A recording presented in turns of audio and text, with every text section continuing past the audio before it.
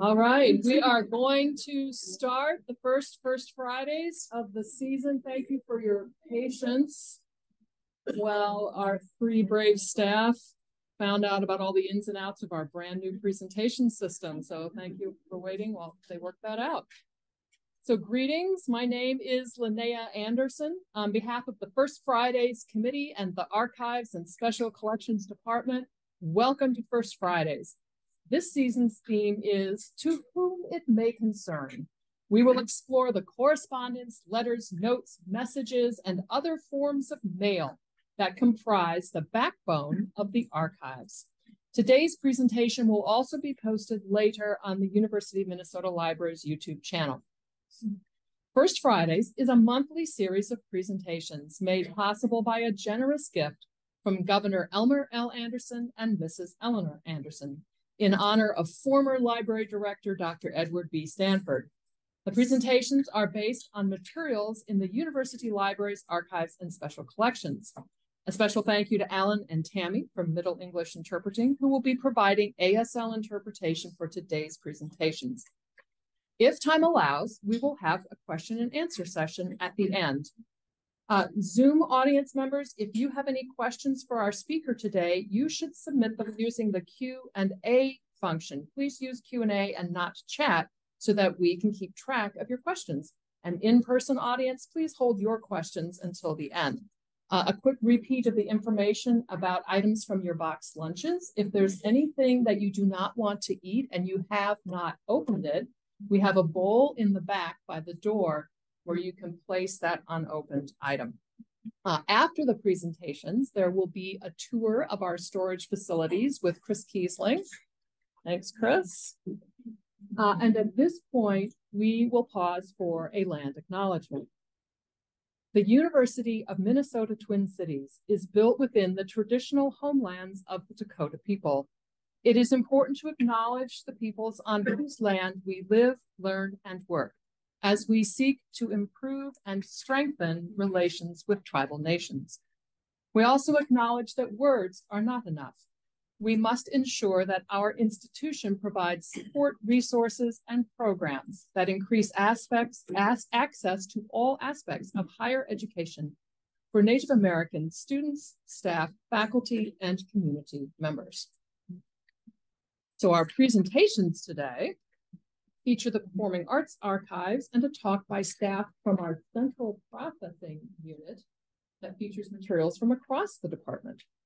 So our first presentation is Drama in the Archives, Correspondence from Behind the Scenes, presented by Deborah Ultan, curator of the Performing Arts Archives. Legacy dance, theater, and music companies from the state of Minnesota found their way through passionate personalities mixed with big dreams and a lot of drama. The talk presents letters of directors, visionaries, administrators, critics, students, and teachers from the Performing Arts Archives. Before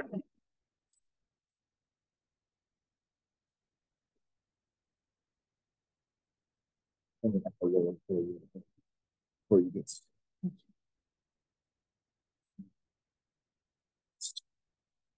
Good morning, everybody. Can you hear me? Well, great. Thank you. It's so exciting to see you all here. It's um, this this reminds me. So I came to the university in 2000, um, and that let's see, it was like a few months before that I came in for my interview, and Wilson Library in our seminar room, it was packed. There was standing room only. And I remember our collections person at the time, Jim Cogswell, he came up to me and he apologized and said, We weren't expecting this many people. Um, but what's so um, rewarding is that we're all interested in these collections and what we're doing as librarians. So thank you all for coming. So I am your new curator in the Performing Arts Archives. Um, uh, like I said, I've been at the university for many years. My original background in art history, I'm still handling the art history and fine arts collections, as well with a background in theater and dance. I've been handling our general research collections in theater and dance. Um, our Performing Arts Archive position has been vacant since before COVID. We had a superb curator prior to that, Cecily Marcus, who is now at the Minnesota Historical Society. Um, it occurred to me because I was spending so much time in this building with the rare art uh, collection that we have here, that it might be a good idea for me to just focus and stay here and focus on all the collections that um, are really close to my heart. So I was very fortunate to um, move into this position. Kind of hit the ground running when I came into the position this summer. And um, there was a vacancy in our exhibition schedule. And because I've done so many exhibits, I thought, yeah, no problem. I can do this. So um, I've been learning this new job and creating an exhibit. And then I had this idea for First Friday. So I threw in my proposal last minute. Oh, I'm so excited, Drama in the Archives, because I know there's a lot of drama in the archives. I was hoping to get scheduled in December, but no, because I was the last one to get my proposal in, I'm the first one. so my point being that there is drama in the archives, but there's also a lot of drama right here, right now. So welcome to that. Um, so I really look at this as um, how our, our archives in a way can come to life by looking at who people are, their characters and personalities. So I bring up some things in this collection today that um, may maybe in some ways difficult and challenging to look at because we all have moments in our life that are not our best moments and they make it into the archives. so um, I'm not calling anybody out. I'm just referencing art history and our personalities and our history. Um, I also want to recognize two very, very important people that have been supporting me as I come into this position. I was very fortunate to um, have an intern last spring um, who graduated with a focus in library studies. And I was able to hire Molly Ray Miller, and if you'd please stand up, as um, uh, a temporary casual appointment so she's with me 14 hours a week and doing superb work and has really and really helped with this presentation as we dove into all these different collections. Some that I was familiar with, some not as much. So I really needed the help to make sure that as the first speaker, I was ready to do this. And then we just recently hired a student employee and we trained them in um, and Kaylin and I are both in training together, Molly Ray too, um, with learning central processing and working in our archive space to make sure the catalog records are, are all correct and our finding aids our finding aids. So I want to introduce Kaylin Howard because she dove in right away and helped sort through some of these archives to pull out some um, our, our dramatic correspondence. Okay, so here we go. Let me coordinate myself here. Okay. All right. So thank you, Linnea, for introducing me and um, our theme and if you are not familiar at all with the Performing Arts Archives, I just want to note that it was established in 1971. There have been three curators. Al Lathrop was our first curator, Cecily Mark, our, our second curator, and I'm the third curator, and it's an honor. I want to start with a kind of a smaller collection that we just um, acquired, the Bel Canto Voices in our in our um when you look records up you'll see that there are um she's covering the screen. Sorry. I'll get um you'll see that there are collection notes so you can read you can read it for yourself. You can see um what kinds of materials each collection has. So not all of them are of course the same. Um so in this case what we have are some letters to janice kimes um, about the significance of the work that that she did. And okay, sorry, I wanna.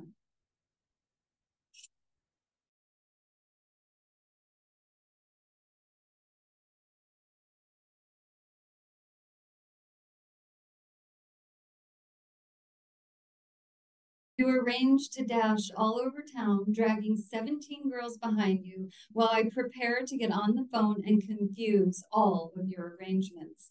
Apologies for that and no excuses, but the end result was glorious. Our women were so appreciative and so responsive to the beautiful voices and your wonderful selections. Oh, if all concerts could be so predictably perfect. It was lovely to hear your gorgeous voice again, too. Audrey was flabbergasted. I talked to John Cranny about you and some weeks before, and he said that you should call him, that maybe there is something workable for the both of you. Let's talk. Thank you, thank you again, and to all your lovely singers, what a bunch. You know, when you read a letter like that, it makes you think, I should write somebody a letter like that. because wow, Okay, let's see. Okay, it's not forwarding.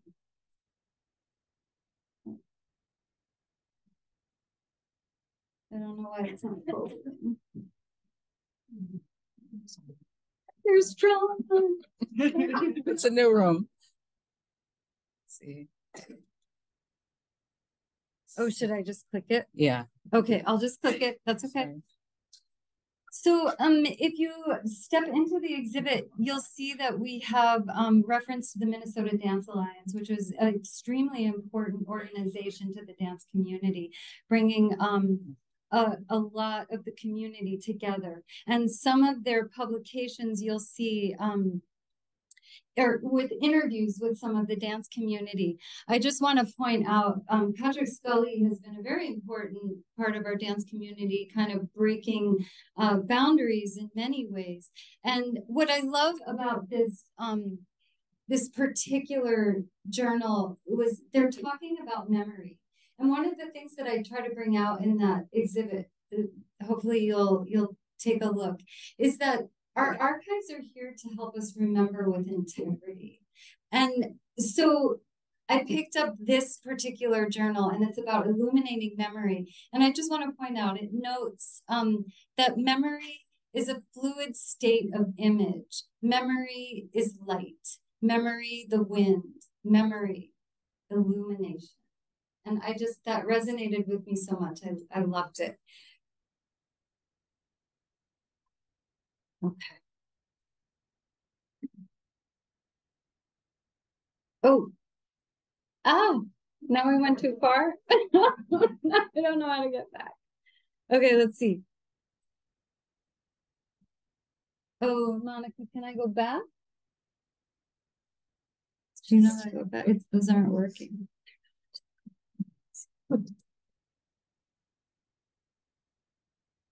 What slide are you on? It's only going forward. There we go.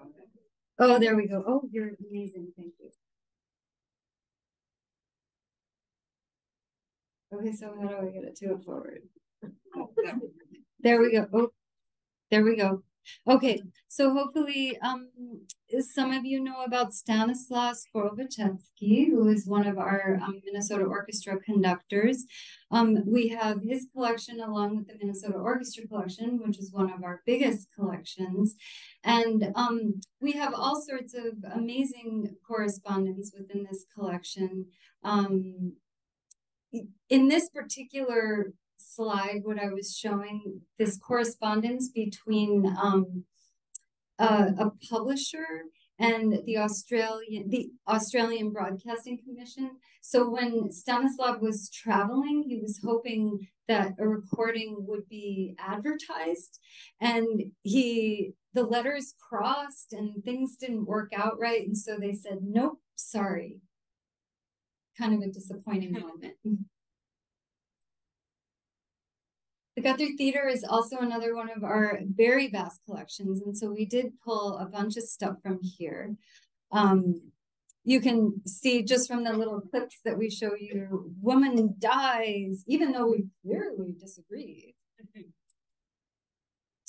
um, one, one of the kind of funny um, uh, correspondences that was back and forth was about their production called um, Six Degrees of Separation, um, where apparently there was um, some objectionable nudity. and there were a ton of letters that called this out. What I love and what I just want to show you here, we don't have to get into the specifics of it, and maybe you can read a, um, a little bit on your own, is the difference between the handwritten letter um, and the typed letter, and not that I'm judging them, but there is something about that handwritten letter that maybe we still love. And it just offers that extra personal feeling to it. Um, that isn't to say that we are not accepting digital materials because we are. and we are working with them um, uh, very carefully and learning all about it. We have a great team who's who's working on our digital preservation. Um, so more about exposing scenes, um, our six degrees of separation, and then a fashion faux pas. So I'm going to read this letter because I love this. Kaylin, did you pick this one? I, okay, so we we had so much fun doing this. You, you we probably just like woke up the entire library um, laughing at everything. But um, this woman is uh, horrified by the shoes that the um, actress wore on the stage. And she was like, she wore a brown tartan skirt, correct to the period, but not the shoes. I expect she managed to sneak on stage without the costume director's knowledge. Everyone else, in my humble opinion, was correct. I was taught drama in England at a vocational school, and my teachers always emphasized that the details mattered. So down to the shoes. um, and the written letter to whom it may concern was also about um, uh, Romeo and Juliet. So apparently there were a few shows that the Guthrie did. Joe Dowling um, at the time um, directed, and um, yeah, there was a call out to perversity. So there was controversy. He was challenging audiences. Okay, this one's really sad, but it's also, I, I mean, oddly funny. So there was a card they that they lent to one of the staff, and the staff um ended up. Did she kill her mother? I, I it was, it, yes, it was the mother of the roommate. The mother of the roommate. So one of the staff was given permission to take a Guthrie rental car and help with moving and drove up to the apartment and managed to kill the roommate's mother. So that's on the Guthrie. So that was a little bit of a problem kind of a tragedy. Um, so they didn't rent let staff take the rental cars after that. so this one's really funny too. There was a lot of um, office drama. So I love the handwritten note. So the rules of the drama shop, as they have been made apparent to me, include such restrictions as no liquor sold unopened, no liquor sold to go, out of dra- the drama shop. These are necessary restrictions if we are to keep the drama in uh, drama shop in operation. I do my best to enforce these restrictions without prejudice, as does Kevin Quayle. Um, on, on numerous occasions, members of the artistic administration um, and it, the assistants as well as so and so have asked me to make exceptions on their behalf. it is my belief that an even handed treatment of all the faculty and staff at the theater is absolutely necessary, not only in the interests of fairness, but to keep the bar open. I have spoken to Mr. Wright about this. Actually, I've spoken to everyone it is because they persist in their desires for special treatment that I now turn to you. If I am to bend the rules, I will bend them for all. So everybody got to go to the bar. the smoking? Oh, the smaller note. Okay, Ed, he's right. So get us a refrigerator. now we really know what's going on behind the scenes at the Guthrie. Anyone want a job? um, okay, so um, some administrative drama. There was some, uh, I don't know, some stealing going on. So we got some, uh, we, you know, kind of looked into some of the notes on that, just so you can see that when we collect the administrative records, it's not so straightforward all the time.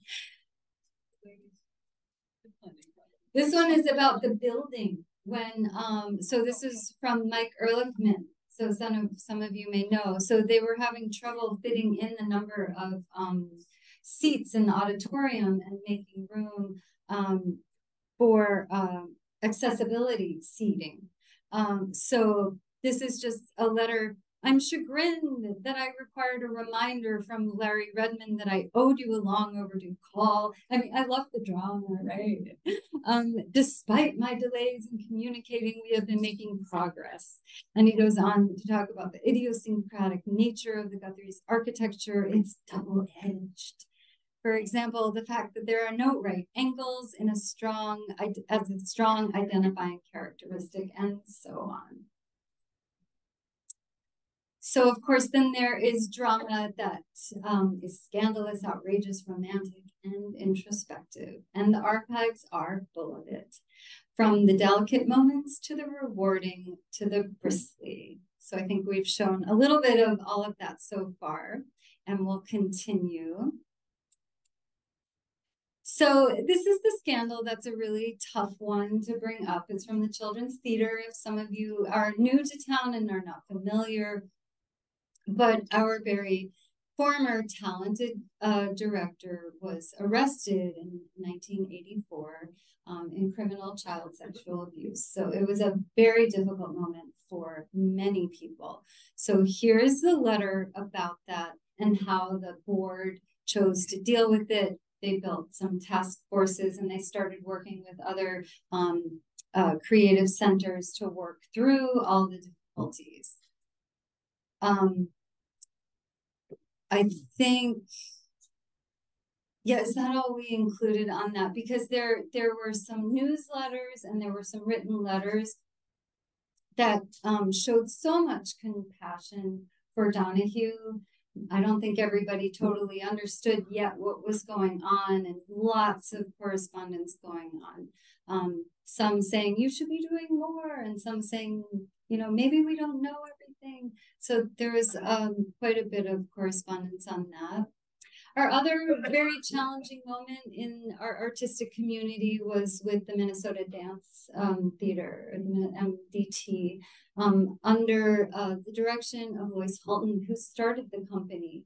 Um, so she had a very strong personality, and she also was very passionate about her work and spent the budget like to the point where the board didn't know what to do and so they decided to release her from her position this caused a huge controversy because Loyce was very well loved. I don't know if any of you have seen like the Nutcracker. They're still performing her choreography from the Nutcracker. It's one of my favorite.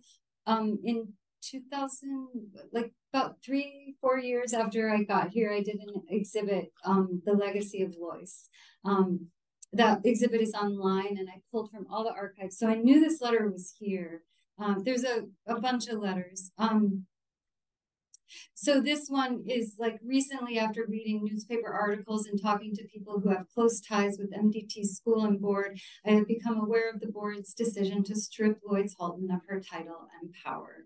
I have been a longtime supporter of MDT and its school, taking two to three classes a year for at least four years, recruiting other adult students, buying something at the bake or wear sale, attending all fundraisers, Blackjack Ball, Crystal Ball, Sorcerer's Ball, and almost all company productions. I recently returned from my uh, from Europe and was planning on registering for my usual two classes and attending the ball, but I find I cannot support a company or school that treats the woman they recognize as its founder, who for 24 years has bore, poured blood, sweat, and tears into this organization and is responsible for what had, it has become today in such an outrageous and trashy.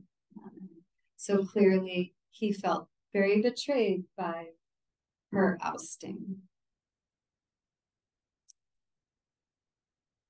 Then there's all sorts of unforeseen correspondence. Um, I don't know if any of you are familiar with, are we at time? Are we run, um, Lena, a little, five minutes? Okay. Um, so if any of you are familiar, remember Dayton and the holiday show. Um, Jack Edwards did scenic design and created all these beautiful puppets and all sorts of just fantastical stuff. He was a huge um, force in the community, big personality, and a big fellow. Um, there's so much correspondence to him, and it's all so lively. Um, there, this one I really appreciate. Okay, so first of all, this one is just unexpected and funny. Um, the parrots are fine. Pepita has grown and is nearly as large as Pedro, who has changed very little. They knew us and they knew us and wasted no time getting in line for attention, and so on. So we get some very personal notes, like I'm sure Jack Edwards knows what that's all about. Um, but this one is really quite um, charming. Dear Jack, you are definitely one of the many reasons I am so proud and happy to be out to the world. In case I haven't told you, I value your advice, your company, your friendship, and you. And then it goes on. Thank you for the graduation gift and so on. there are a lot of very affectionate letters.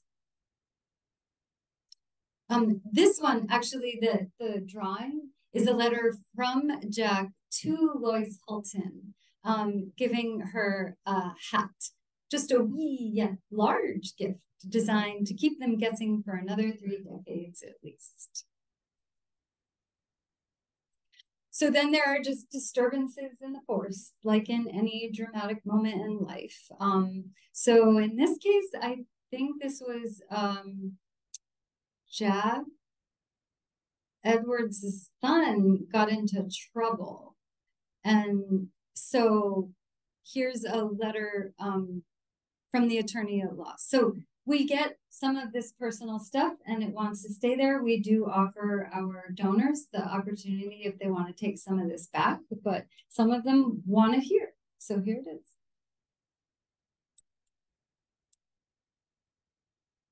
And then there are letters of applause, and those are always the most rewarding.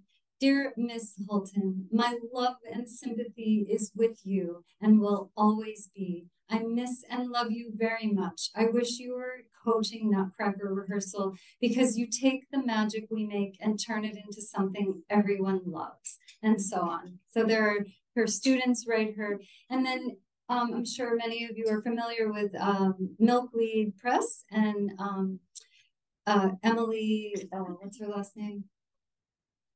What? Say. Buchwald, Emily Buchwald. Thank you. Yes, Emily Buchwald. Dear Loyce, I forget from year to year how magnificent Nutcracker is. When I watch the curtain go up and the lights go on in town and the toy maker's shop, I get teary and enchanted each time. The production is filled with magic, with charm, with humor and tenderness. I was thrilled this year, as I've been in the past. Thanks for giving this present to the world. Okay, so there's more about her magic everywhere. So if you haven't seen the Nutcracker, so this is the beauty of MDT. Um, her daughter, Lisa Houlton, ended up taking uh, directorship of the company. And Lisa just stepped down. I don't know if you saw the Star Trib article just recently. And now Lisa's daughter, so her grandchild, is now um, directing the company. And Caitlin and I have been in touch, and the Nutcracker is gonna go. Everything's going as planned. And then there are honors, and I want to come back to Stanislaw Skrowaczewski. And this one is very dear to my heart because my dad knew Stanislaw Skrowaczewski. Um, when my dad was uh, uh, the chair of the music department and knew Stanislaw, and they honored Stanislaw Skrowaczewski with an honorary uh, degree. So, dear Mr. Skrowaczewski, it is my pleasure to inform you officially that the University Committee on all university honors and the Board of Regents have unanimously, unanimously voted to award you an honorary doctor, doctor of musical arts. And there is my dad's name at the bottom. He passed in 1998, way too young at 69. Um, and I just, he did so many great things too, and it's really fun to come across him in the archives as well. I want to point out Beth Obermeyer. Um, congratulations on your listing to the 1981 Guinness Book of World Records and for making Minneapolis the tap capital of the world. And this you'll see more in the dance exhibit. Um, if you go to Orchestra Hall, there's an exhibit of materials from our Minnesota Orchestra archives. So there are two display cases. Kaylin and Molly Ray worked really hard on helping that to come together. I went to the orchestra the other night. They look amazing. And then our exhibit across the way. Thank you so much.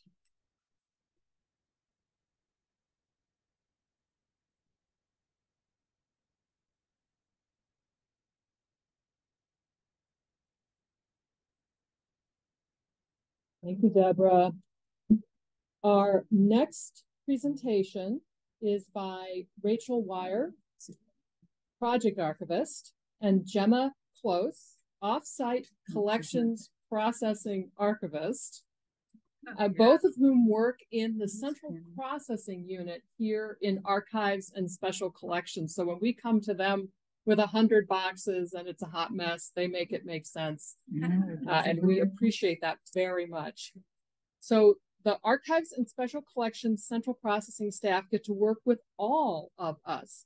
And this presentation will explore collective memory, pivotal moments in archivists' memories around correspondence, and the important social transmission of these memories.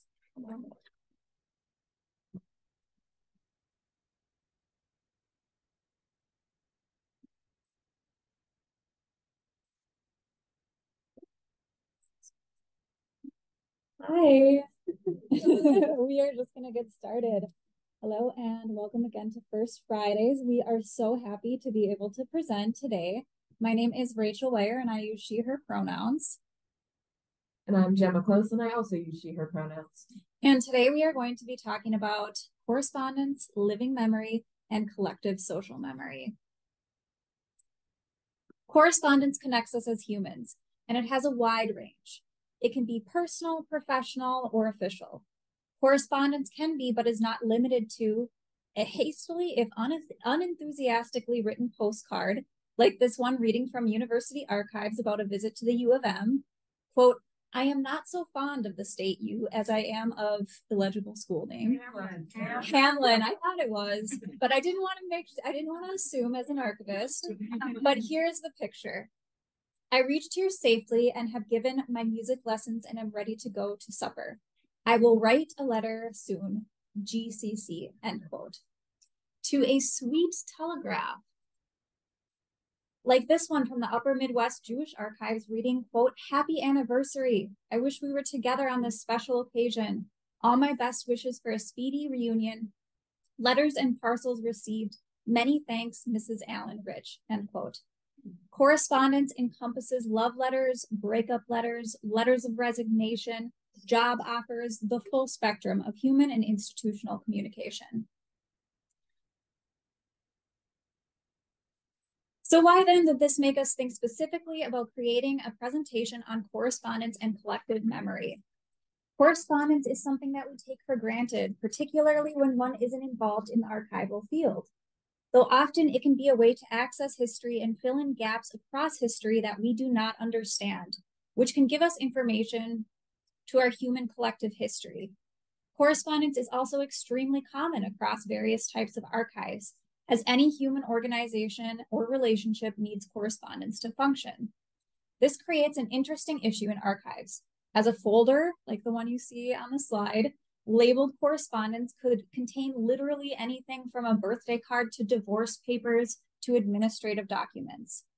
Jemma and I are in a unique position here at University of Minnesota Archives and Special Collections. As some of you may know, and as it has been mentioned, the university has 14 different archival units. Each are unique and equipped with talented curators, assistant curators, techies, and students. However, Jemma, Lisa Jeanette, who's over there, and I, I work in central processing, which works with all 14 different units and offsite collections. We see collections as they are first brought in and get to work with collections with high processing needs. This unique position allows us a glimpse of archiving, allows us a glimpse into archiving at the University of Minnesota as a whole, the importance of correspondence, the unequivocal power of collective memory, and the social transmission of memory. We are here today to talk about how collective memory is expressed, the collective memory of university archives, the impact of correspondent that correspondence has had on archivists personally and professionally, and the social transmission of memory. The idea of collective memory, put really simply, is the idea that everyone remembers a moment and can benchmark their life against that moment. For example, where were you when you first heard about the COVID lockdown? Mm-hmm. Who are you messaging about this? How did you mark time? Correspondence today looks so different than it did 20 years ago. Now it can be instantaneous, and this example points out what this correspondence can look like and the importance of context in correspondence. During the first COVID lockdown, I, like many others, was messaging my friends and family, as you can see in that first screenshot. I was, we were talking about how to get masks, how to how to make masks and how to get groceries, how to basically survive during that first lockdown. However, on the same day, I was also messaging my friends about the show Tiger King, which I'm sure some of you may remember. Just because we have a piece of correspondence that captures one moment, one experience, that does not mean that it encompasses the totality of what was actually happening to the people involved. As archivists, it is our job to question or as archivists, it is our job to attempt to preserve and capture history contextually. It is also our job to question how we can ethically facilitate this. Correspondence can be a key part in providing firsthand accounts to historical events that add insight into communities' collective memory. Collective memory, then, is the sum of a community's recollection of these moments, how that memory operates as an independent agent, sustained by a group of people, and is often separate from any official documentation or recorded history. To begin our discussion about collective memory, we first need to look at institutional collective memory. With institutional archives, we first must acknowledge that archives are inherently colonial, and our understanding of what an archive is is entrenched in white supremacy and colonialism. Archives are artifacts of that heritage. This understanding of the collective memory of the University of Minnesota archives is important to understand contextually. Most universities collect and acquire items in similar ways, and correspondence is an excellent way to look at that history. So let's look at where the University of Minnesota archives officially began. This is a correspondence to Lotus Coffman from William Fowle dated December 31st, 1927. It reads, quote, Dear President Coffman, I beg leave to, su to suggest for your consideration the establishment of the university archives, end quote. The letter then goes on to suggest the libraries as an appropriate place to ho house these collections. Though is this really where the University of Minnesota archival collective memory begins. In order to create an archive at all, there has to be an existing memory or community to document. So does that collective memory begin at the university or at the archive? Additionally, who is being recorded in the dominant memory of this institution? Would then the institutional collective memory begin at the 1805 and 1851 unupheld and unethical treaties that impacted the land that this archive is currently occupying?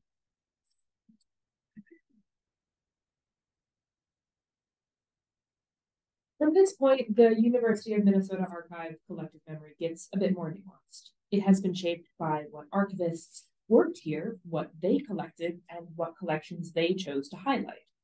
So the collective memory we are looking at today is not just that of the university, but that of the university archivists as a community unto themselves. Additionally, each archivist may have a different image of the university archives in this collective memory. For instance, as a white woman working in central processing, my collective memory may look different than that of other archivists or community members. Archivists working in units that focus on the experiences of marginalized groups will have a collective memory that differs. While we may be re referring to and remembering the same event, the impact and ramifications of that event will differ and thus result in two independent collective memories. One example of a specific community's collective memory differing from the quote unquote mainstream narrative is the local indigenous community's interactions with the university itself. We want to highlight here the Truth Report, a compiled set of reports built off of archival material hosted here at the university and featuring quite a bit of correspondence that focuses on the historical, systemic, and ongoing mistreatment of Indigenous rights and sovereignty by the University of Minnesota. This report is both an excellent example of how the collective memories of communities differs in regards to the same history, and one of how one of these histories has historically been prioritized over any others due to structures of power. Furthermore, it demonstrates the role of archives and correspondence as a method to validate those collective memories.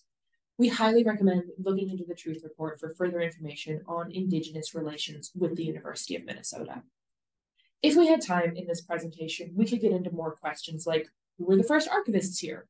What were they collecting? How was the archive viewed then and how is it viewed today? What community was it made for and by who was it made? What are the demographics of that community and how do these archives serve them? However, we only have 20 minutes, but we want to acknowledge the importance of those questions as archivists and pitch them to you for further consideration. So let's discuss marking personal time in our collective history through correspondence. I personally believe that working in archives is working with people.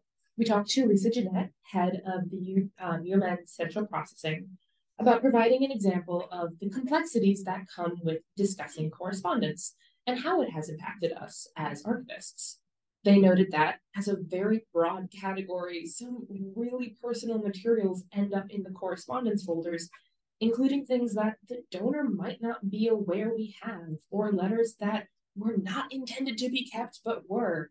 And these can include some very intimate and traumatic details about a person's life, like children they did not know that they had. As archivists, we don't always know what will be in correspondence, and it can be intensely personal.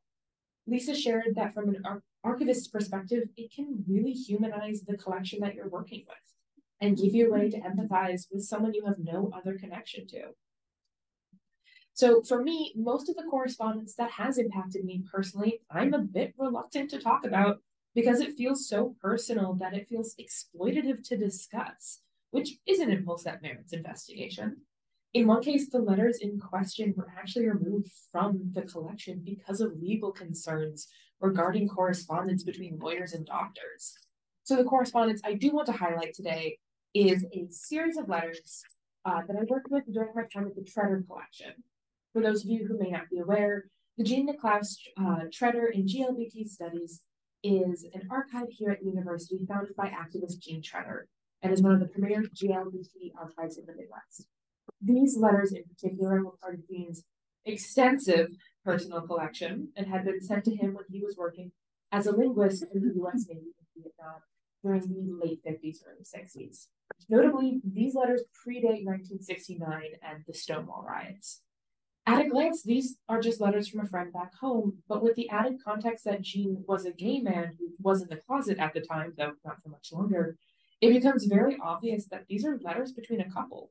And it's heartbreaking to see them talk around their feelings in order to stay safe. And it's incredibly heartening to see LGBT lives before 1969 when most narratives of our history begin. Another example comes from Rebecca Tu, right over there, collections archivist at University Archives, which harkens back to our earlier, thank you, our earlier COVID correspondence examples. Rebecca was the project archivist for a legacy grant project in 2016 that processed the University of Minnesota radio station KUOM records and also digitized several thousand KUOM radio broadcasts. She worked to help create an online exhibit titled, quote, In the Public Interest, end quote, about how KUOM staff shifted their broadcast to an almost exclusive programming for children during the summer of the 1946 polio epidemic. At the end of July, there was a quarantine issued by then Mayor Hubert Humphrey to keep children at home. The radio station created special programs with music, rhymes, games, health education, and other entertainment. In a section of the exhibit titled, quote, The Response, end quote, Rebecca included letters that were received by the radio station from listeners, parents, University President James Lewis Morrill, and children, thanking them for the radio programs. One in particular is her favorite. A child wrote a poem thanking each of the radio station staff members. Let's look at one of the later letters dated September 20th, 1946. It reads, and it was kind of hard to read, so let's hope I'm getting this right. Quote, Dear KUOM, I want to thank you for the programs you put out during the polio epidemic. Here's the way I want to thank you. Alice Rice is so very nice, and so is Betty Gerling. Betty Mustard's program is full of twirling and whirling. Ray Christensen and Ruth Swanson are so good in every play. Ken Barry is such an actor, and I hear him almost every day. Bob Boyle reads the newscast the best you've ever heard. Paul Matthews is such a good reader, he never stumbles on a word. Bob Runyon is an announcer, and I think he's very good. And so is the engineer who's not on the air, but I think he should. there are others on and off the air that I have forgotten or do not know, like Dr. Luke O'Brien and the one who's on Homemaker's Quarter, whose first name starts with Joe. I want to thank KUOM for making the polio epidemic more pleasant, mm-hmm. and everyone else, it was the best of any present. Sincerely yours, Ariane Croman. This is an excellent example of how correspondence and the collective memory it, it helps create can place us into history as well as correlate to what's happening in our present. As archivists, we can almost live vicariously through others' memories in correspondence, as well as attach mm-hmm. meaning that could be different, and often it's profound to ourselves than what was originally intended. With correspondence, we often don't get to see the whole picture. And most of the time, we only get half of what's going on, as we have the letter, but almost never the reply. Check out this letter to a sent to science fiction author, author Clifford Simak by none other than George R. R. Martin in the 1980s, where an apparent feud is alluded to, with the letter reading, quote, Thanks for your letter of June 17th. I am sorry you won't be writing the introduction for New Voices 5 but I certainly understand your reasons. I must plead guilty to being one of those people who thought of you as Campbell, Campbell's writers. Although I was aware that your first sales preceded his editorial reign at Astounding. Given the relatively infrequent contact you did have with Campbell, you are of course correct. It would be more appropriate me, for me to get another introducer and will do so. And the letter goes on, end quote.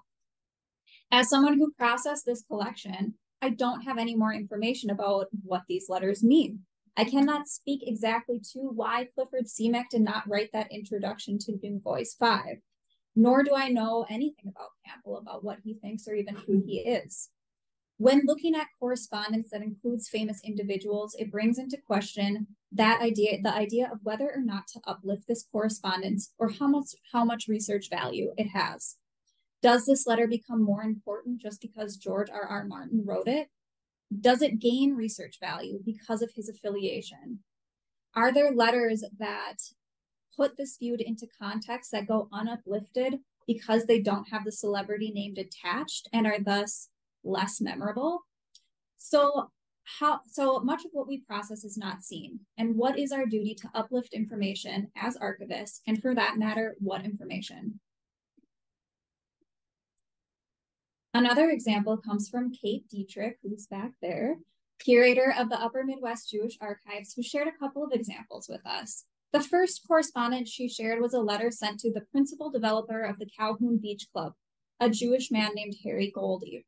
This letter starts out by discussing a proposal for the construction of a club, though then moves on to read, quote, I hate to interject anything unpleasant in this proposition, but it was intimated to me that you were under considerable pressure for leases to Jewish people. While it may be no concern of mine, I do think that the leases to these people will certainly be detrimental to the operation of your property. The proposition must go one way or the other. And I think if you let one Jewish family in, you are going to create dissension among your other tenants, which will react very unfavorably to your rental situation. End quote. Yeah, in discussion with Kate, we talked about the importance of having quote unquote proof of anti Semitism. Communities rely heavily on collective memories of racism, anti Semitism, and prejudice. Though often these communities are asked to quote unquote, quote unquote prove these instances, but not all of this is concretely documented. And finding an example of this in the archives is really important. Minneapolis at this time was being referred to in the national press as the quote capital of American anti Semitism, end quote.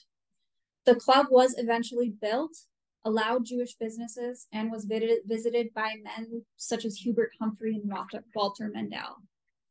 Mondale, excuse me. Which leads us into our last topic how collective memory impacts education, and specifically how that education in turn affects the social transmission of memory through the University of Minnesota students. We talked to several archivists to see how what they have found in various collections impacted them to the point that they wanted or felt that they needed to share this information as educators. Again, it's important to note that what we feel is interesting, important, or relevant is impacted by our own experiences as archivists and the community we exist in, and thus the materials we choose to elevate are not neutral. One example of correspondence and collective memory amongst archivists specifically tied to education comes from our amazing archivist Amanda Wick, who is back, of the Charles Babbage Institute Archives, which focuses on the history of technology. Here we see a selection of letters from the Control Data Corporation that Amanda's predecessor showed to her on her first day of work uh, in the archives. So this is a letter written to William C. Norris, head of the CDC at the time, complaining that the CDC had been selling computers to Russia during the Cold War. Please note there is strong language in this letter. I'm warning you, I have a trained American bald eagle named Ralph who will attack your big goddamn glass building up there in America's version of Siberia and he's gonna shit all over your glass panels if you don't stop pushing this computer sale to the commies. I'll even feed him Carter's little liver pills to make him shit more than he does. I'm serious. Stop this dealing with the Ruskies or Ralph will get you. We do not have a copy of Mr. Norris's reply to this letter, uh, though according to our records, he did send one nor do we know if Mr. Norris was got by Ralph. this is a great example as correspondence as a way to humanize the past. We all know someone who would talk like this to a manager. Amanda uses these letters not for researchers, but specifically for classroom education with students who don't usually work with historical materials, as a way to bridge that veneer of history and allow them to relate to the past. So here we see not just correspondence as a tool for education, but the collective memory of archivists, as seen by Amanda's predecessor highlighting these letters specifically, her using them for education, and me in turn bringing them to you. The collective memory of our institution elevates these particular records, perhaps at the cost of others. What other correspondence is there in the CBI archives or in the CDC collection that could make great educational or research tools, and what other perspectives might they highlight?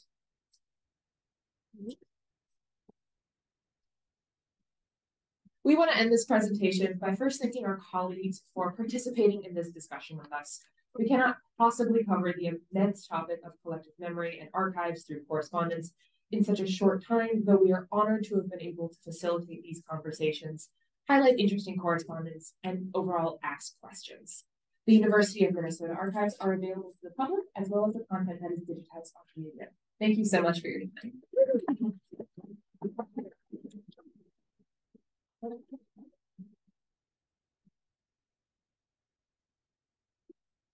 Thank you, presenters. I think we have time for maybe one question. Kate, do you have one from nothing online? Is there anyone in the room who has a question for one of our presenters? Oh, someone there.